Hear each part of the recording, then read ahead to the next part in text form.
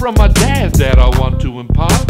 To take on board right from the start. Don't want to end up shit creek or down river. Make sure you under promise and over deliver. Yeah, I can do that, man. Sure, that's all cost. I can give you the world, man, whatever the cost. Maybe you use this to win some of your clients.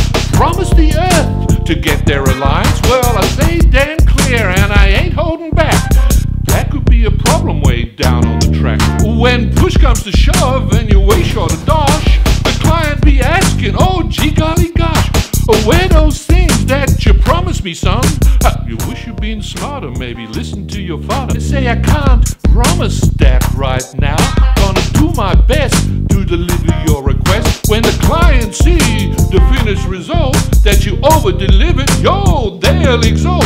Your classy image coming out of the shade, and a client this is really simple. Happy client, that means faith in you. More trust, that means more work. Yes.